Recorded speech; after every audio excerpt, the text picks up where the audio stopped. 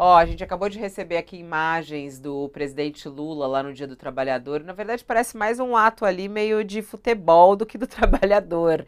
É, o presidente Lula foi recebido lá no campo do Corinthians, ganhou a camisa do Corinthians, pelo presidente do Corinthians, Augusto Melo, pelos jogadores Basílio, Edmilson e Zé Maria.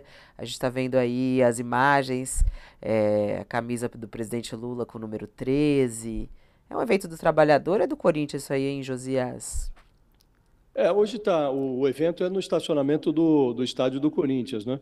É possível, nós não vimos a forma como o presidente chegou, mas normalmente ele se desloca é, em São Paulo de helicóptero, né? Ele chega ali na base aérea, pega um helicóptero e vai para o eh, pro, pro estádio, né? Aí haveria espaço para o helicóptero pousar. Agora, se o presidente ficar só nessa cena, em pleno primeiro de maio, não fica bem para ele, né? É bom ele ir lá para o evento e é seria mais é, conveniente ainda se houvesse plateia, né? uma plateia numerosa. Essa foto aí é, não serve aos interesses políticos do presidente, Fabiola. É, o Thales, é tudo bem. E, e, o, o, Lula é corintiano mesmo, gosta, assiste, né?